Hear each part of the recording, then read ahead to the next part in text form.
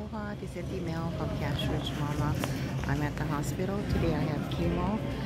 So I have a budget of $20 a day in the cafeteria and um, so what I do is try to stay within budget and I did this morning I made breakfast which was under six dollars was five dollars and so many cents. I got a large oatmeal two toasts and milk.